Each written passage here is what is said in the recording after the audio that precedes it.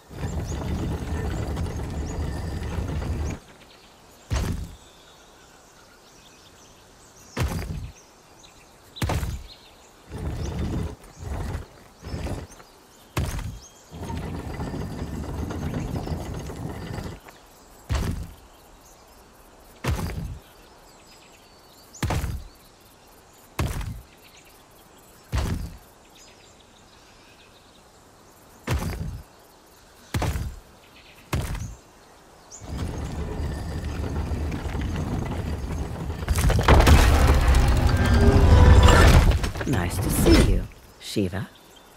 Now what?